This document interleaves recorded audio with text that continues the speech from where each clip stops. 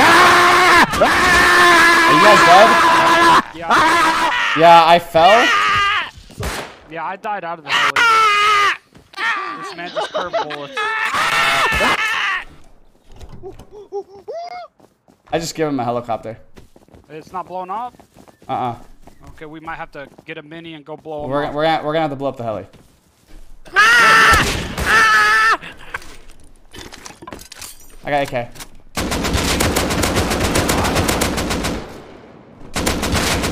Hold on.